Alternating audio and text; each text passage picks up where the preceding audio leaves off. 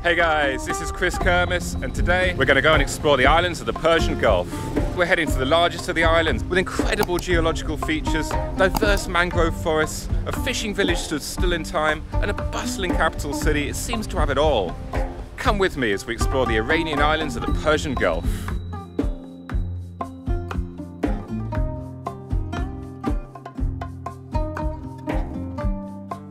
Welcome to Keshma.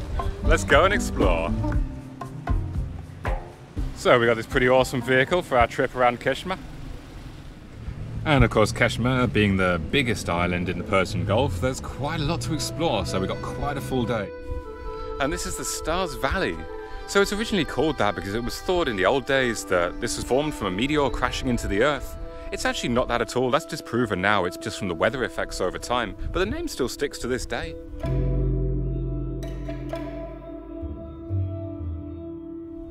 So this is thought to be about 5 million years old. And the weathering effects, it's over such a long period. It's actually just the same as the kaluts that we saw in the desert.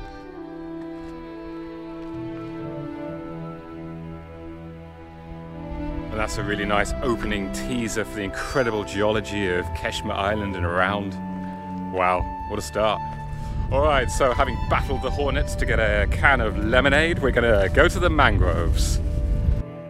And there it is, the elusive Iranian camel. I've crossed far and wide across Iran and this is the first camels I've seen. So, did you know that there's actually mangrove forests in the Persian Gulf? I certainly didn't until now, but hey, we're going to one right now. And this is it, the entrance to the Iranian mangroves. This is really quite incredible. Who would have imagined this existed here? Ready? Oh, ready as I'll ever be. Hey. And we're on our way on this lovely little boat.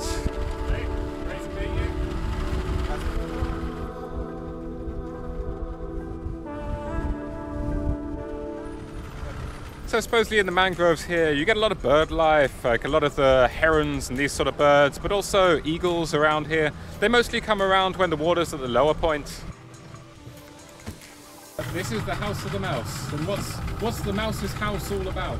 So is it this type of mouse can swimming? Oh, like a, wa- uh, a water, like a, a water creature, water rodent. Yeah, yeah. Okay. So it really is the house of the mouse, or at least some sort of unknown water rodent that can swim in the water.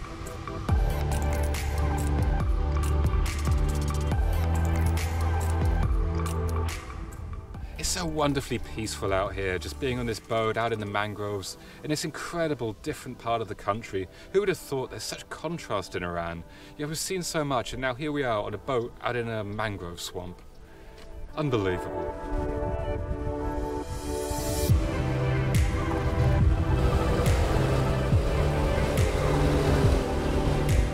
There we have it. That's our little adventure into the Iranian mangroves. So, the plan. Oh, so the plan for now. I'm to hold you to this. yeah, and now we are going to the restaurant, seafood, maybe shrimp and fish, which come from the Persian Gulf. And after that, we'll go to visit the Chahkooh. After Chahkooh, the Namakdan Cave, Salt Salt Cave, and after that, for the sunset, we are going to the Laft Village. This sounds absolutely perfect and delicious. Yeah, of course. Well, we've stopped off at this little town here, so we're at the restaurant now. They sell only fish, but then what else would I want? Of course, I'm going to take fish. It's a really charming place here. It's basically just like someone's house converted into a little restaurant at the side. Perfect. I mean, this sort of place, you can often find some really great foods. I've got high hopes here. Just ordered some locally caught fish. What else am I to do around here? There's quite a few choices on the menu, but this seems like, well, seems like a nice bet for lunch. So let's see. Okay, so we've got the fish, and this just looks absolutely incredible. I don't know what sort of fish this is, but look at this. Okay, so I've got to be honest, this is going to be a little bit challenging. I'm not quite sure how to eat a whole grilled fish with uh, simply a spoon and a fork, but let's give it a go. It looks absolutely delicious.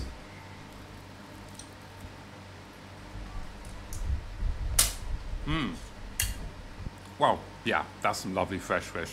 That is absolutely fresh, delicious. I've still got no idea what fish it is, but beautiful, fresh white fish. Lovely, perfectly grilled. What's not to love?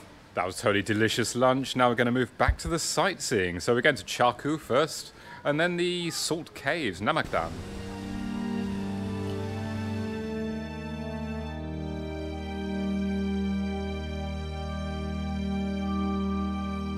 So we just turned up at Chahkooh, and Chahkooh translates to well mountain. And the reason why it's called this, so in the past people used to dig wells here to collect the rainwater, but over many, many, many years, weathering effects on these wells have resulted in them being basically big holes.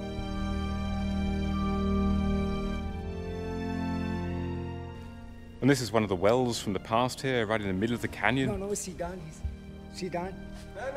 Sit down. To- okay, no, so- no problem. To wash your, to wash your head. Yeah, thank you so That's good, that's good. Soaking in the best possible way. Well, it's not every day you get covered in well water like that, but let's venture a bit further into the canyon here. And this part of the canyon up behind, it gets too thin to even walk down, and by the time you reach the end, you can't even see the sky anymore.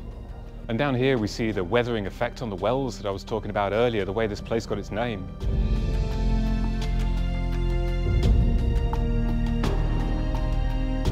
Now we're heading on the way again to the Namakdan or Salt Caves. We see these incredible rock formations as we go along the road. They must be weathered by so many years. We seem to have a bunch of camels taking up the road.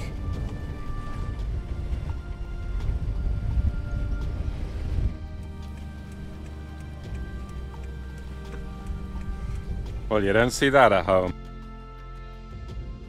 And we made it to the Namakdan Cave, or the Salt Cave. So, Namakdan basically means containing the salt, so pretty much literal translation there.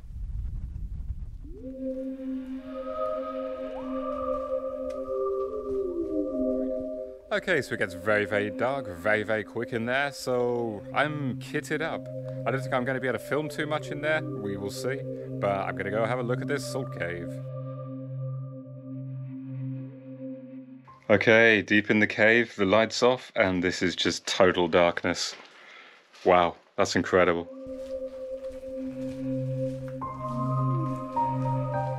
So just by the other cave entrance here, we've got a small salt lake running out, and the salt water is 10 times more salty than seawater.